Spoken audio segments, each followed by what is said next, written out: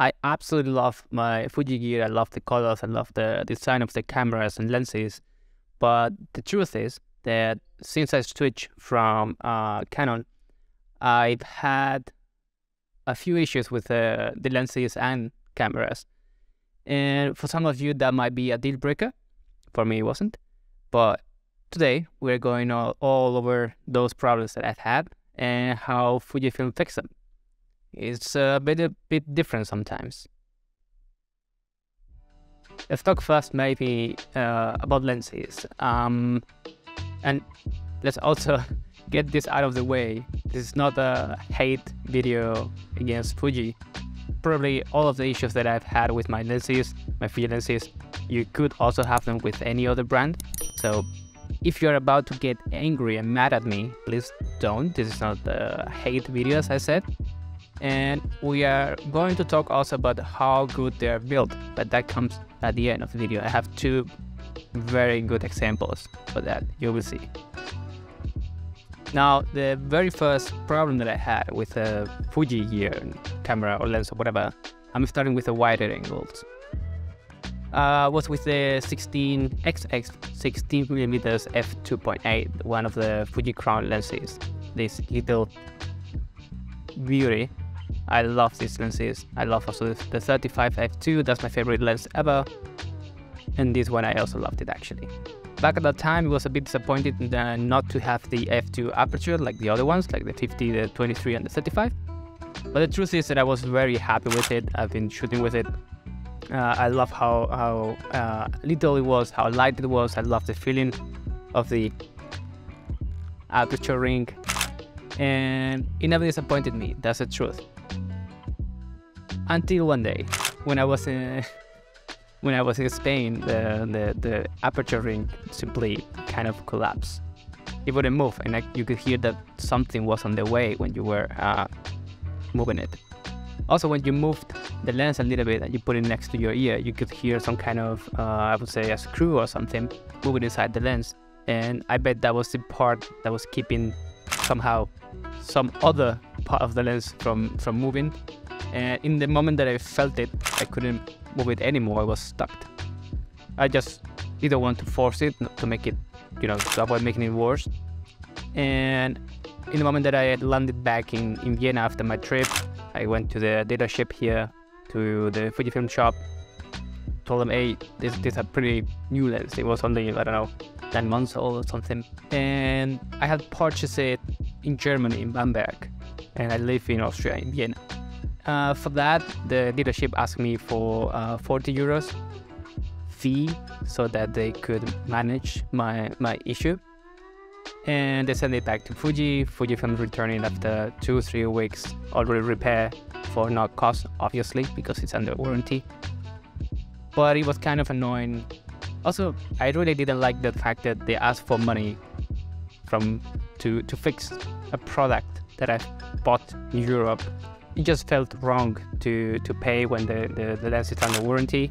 And probably the dealership, the shop could have done a better job keeping me happy, but not getting 40 euros. That would have made a huge difference. And it actually made me buy my next lens, not with them, but somewhere else. And now, if we continue down the focal length path, the next lens that I had a pretty big issue with was uh, probably now my favorite uh, as I said, my favorite is the 35 f2.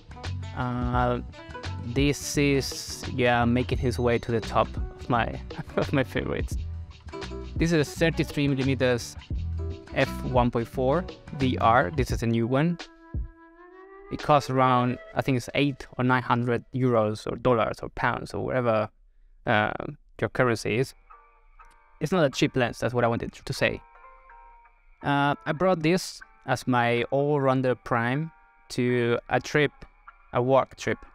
Uh, in India, we were uh, traveling from Kerala to the north to Mumbai, and after I guess eight nine days, I was shooting with this uh, with this lens in a coffee uh, factory, and I realized that the the autofocus engine didn't work. Uh, the camera wasn't focused anymore, and I got a little uh, error message in my X3 saying, hey, please turn off and on the camera, there's something wrong, blah, blah, blah, blah, blah, blah, blah. Now, something very characteristic of this lens is the linear autofocus engine. And you can feel it going up and down when the, the lens is not connected to a camera when it's not mounted. But when it is, you shouldn't feel that weight.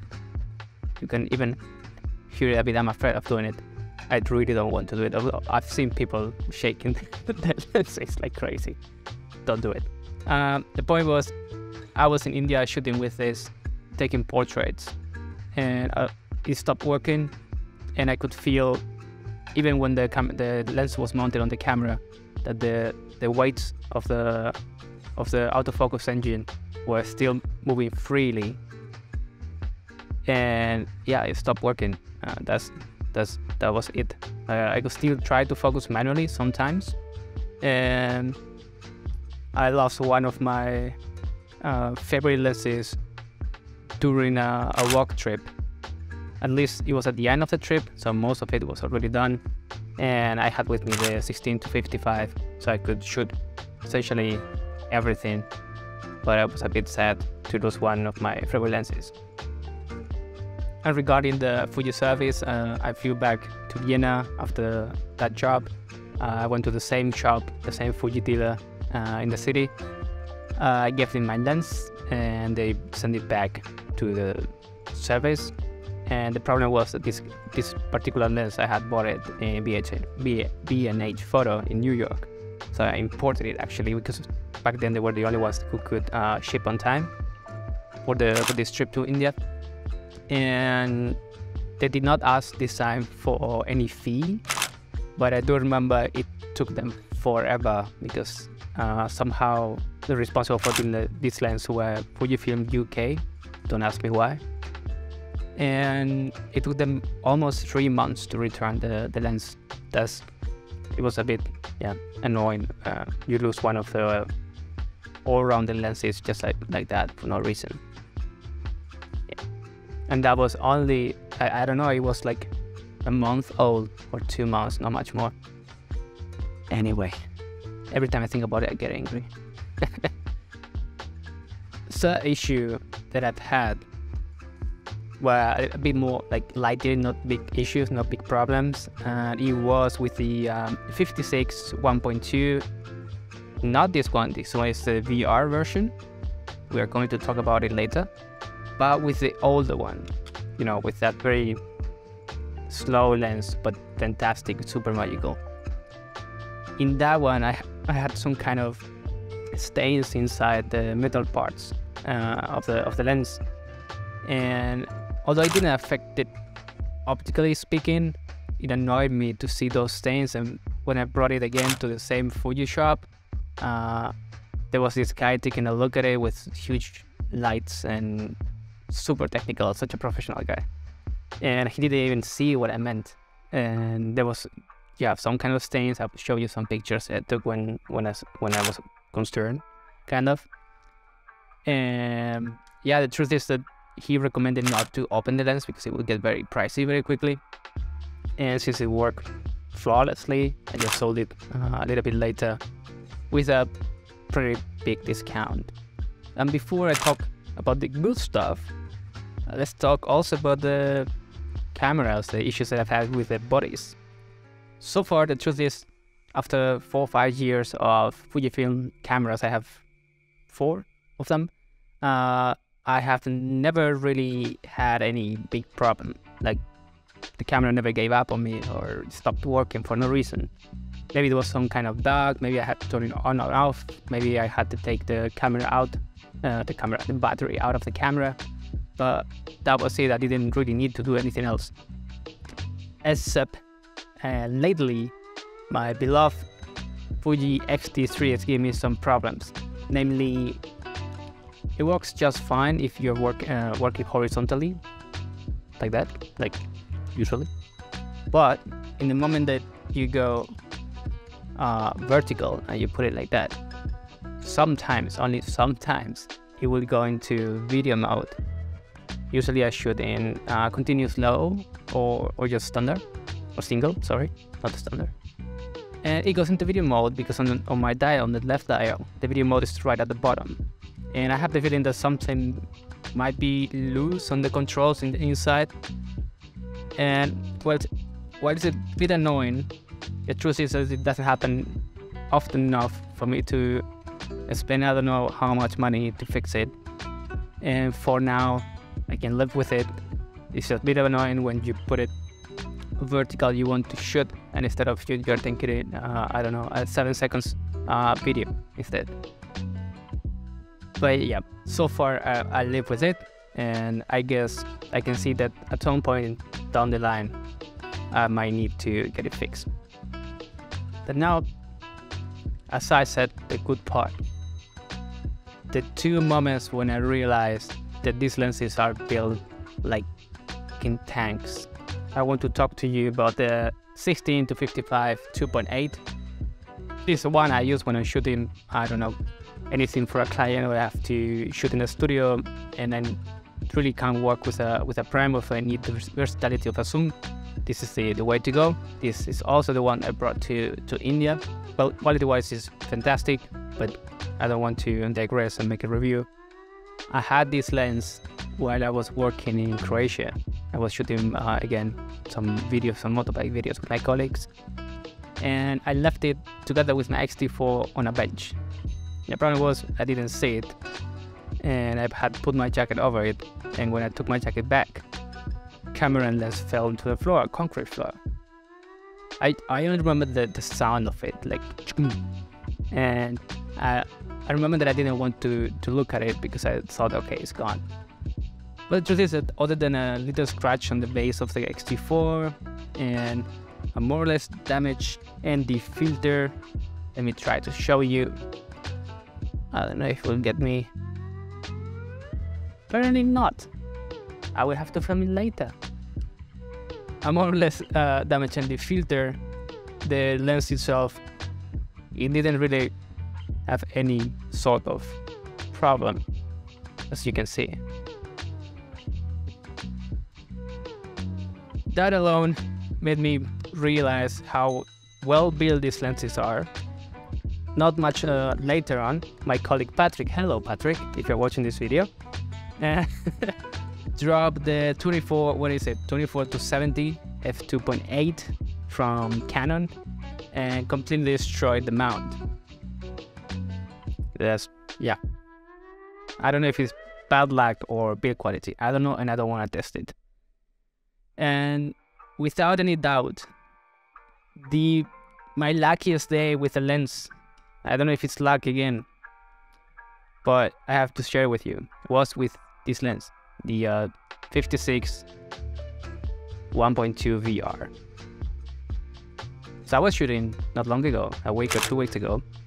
I was coming home, I got on the tram, so I put my Peak Design bag, the one that opens on the side, on my lap, I opened the zip, and suddenly I saw something, so I kept sh shooting something. and I, at that point, I realized, oh, oh my god, that's my sub.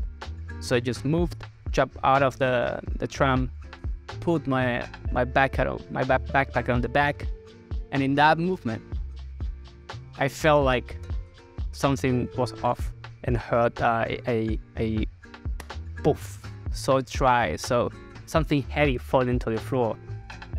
And then I saw my 56mm f1.2 and all the thousand euros that it cost rolling on the sidewalk.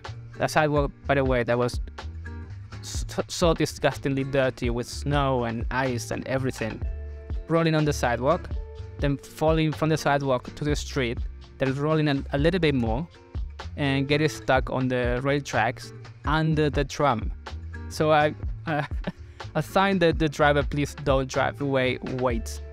Uh, ran on the tram, took it, and went home. I cleaned it a little bit because it had a lot of water, a lot of ice and snow. I I, I didn't even have the, the I was going to say to have the balls, los cojones. I didn't have the cojones to look at the lens and I just put it back on my backpack and I thought, fuck me. My life, I just lost a thousand euros and I didn't even know if this one, particularly this one, was already insured or not. So I went home, it wasn't long, uh, from the tram station, sat down, knowing that it was completely destroyed. I was ready to, to, to accept it. uh, clean it a, lot of, a little bit more, checked that the front element was actually intact, that I couldn't believe. I was like, how? Checked back, expecting it to see it broken, and again, I want to show you intact, perfect. And what I do see on the sides, I will send me later, but let me show you here too. I don't know if you can see it. It's right there. There are a couple of scratches on that side and around here.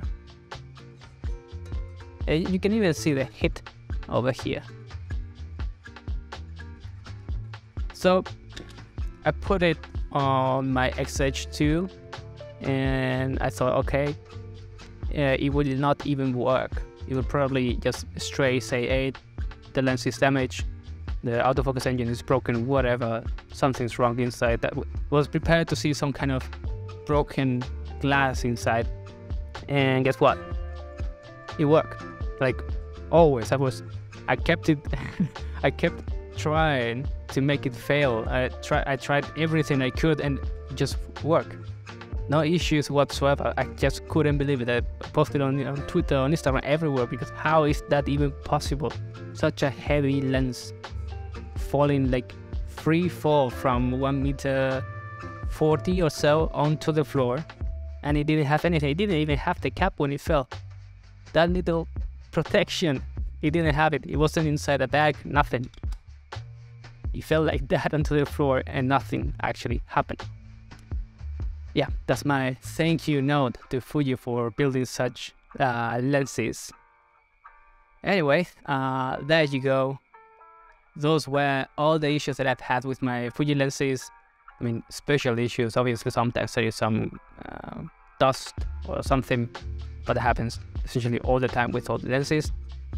And yeah, I hope you are luckier than me. Uh, probably, probably you are luckier than me. It's really not that hard. Thanks for being there. Again, subscribe, like if you did like it, and have a very good day. Ciao guys. Bye bye.